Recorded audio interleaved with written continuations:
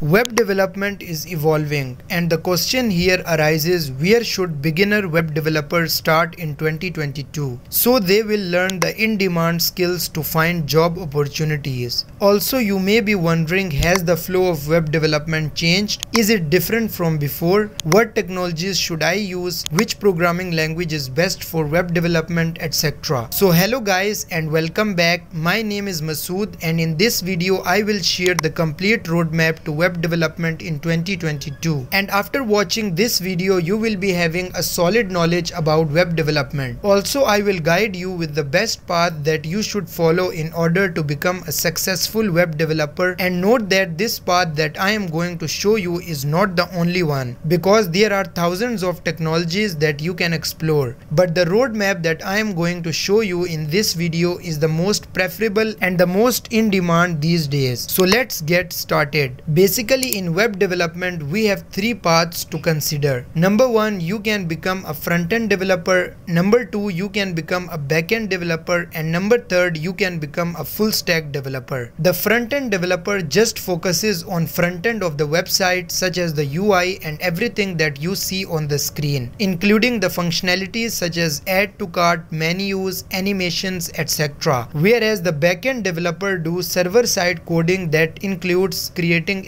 APIs such as the API for users, blogs or messages, connecting to database and creating authentications and users etc. And finally the full stack developer is the one who manages all or you can say that who can do both front end and back end development. Now let's see how you can become a successful web developer in 2022. The roadmap to web development. So starting off you should first of all have to focus on HTML, CSS and JavaScript. Now here HTML is the markup language that is used to create the skeleton of websites whereas CSS is used to put skin on it. I mean to color and beautify the websites. And finally JavaScript provides the brain in websites. JavaScript is the client-side scripting language that is used to add functionalities to the website like what happen if user click on the button, what if the user submits the form data, adding events and dynamic behavior. Now once you learn all of these technologies then you are able to deep dive into web development and with my personal experience I am telling you that they don't gonna need more than a month to learn HTML, CSS and JavaScript even if you are a complete beginner. Now once you come at this point you can design a beautiful static web application that might consisting of the following features such as menus, animations, pages and forms with validations. After that you can learn a JavaScript framework that could help help you a lot with front end. There are three frameworks that are widely popular Angular, Vue and React. Now React is the technology that you should learn for front end because it is the most popular out there and basically React is a JavaScript library that allows you to create super fast and dynamic front end applications. Now a framework makes your life easier. You can use the functionalities provided by these frameworks to create your application. For example, you can use routing, components, that allows you to break the site into smaller parts and focus on each part separately and this makes the work easier and clean. Also a framework makes it easy to share the data across the application. In React you have context API and Redux to store and share the data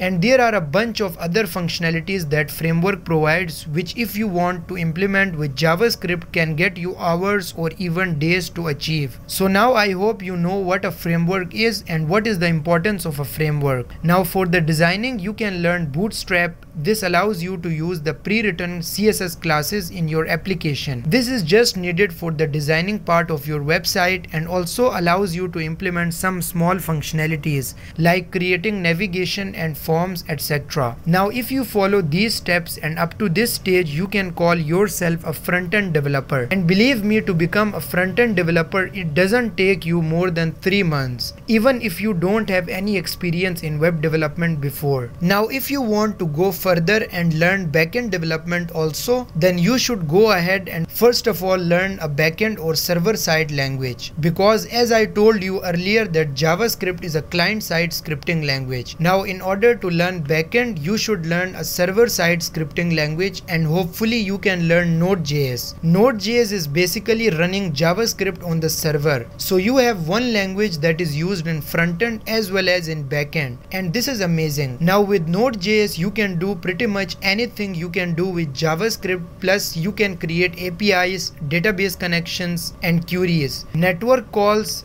REST APIs and much much more and using Express.js it even makes it very easy to work with Node.js. Express.js is just a package that helps you to write less code in Node.js. So after learning Node.js you should also need to learn Express.js. So with only one language you can now do frontend and backend very easily and this makes Word JavaScript so much popular. Now for database I would recommend MongoDB. It is NoSQL database where the data is stored in the form of objects and it is so fast and extremely in demand. After that you need to connect MongoDB with your application using Node.js and for this you would be using a node packager called as mongoose which allows you to connect mongodb with your application in order to get the functionalities such as storing data creating data updating data and deleting the data. Now after following all these steps you would come to a stage where you can proudly mention yourself as a full stack web developer who can do both front end plus back end and who can also work with database. And this stack is called the MERN stack web development where where M stands for MongoDB, E for Express, R for React and N for Node.js and it is the most in-demand web development stack these days. I hope you find this video helpful. For more videos like this, make sure to like, share and subscribe to our channel and also press the bell icon next to it. And if you want to support this channel, you can do it on Patreon with as little amount as $2 the link to my Patreon page is given in the description. You could also get the source code of my upcoming videos and other exclusive content. Thanks a lot for watching and I will see you in the next time.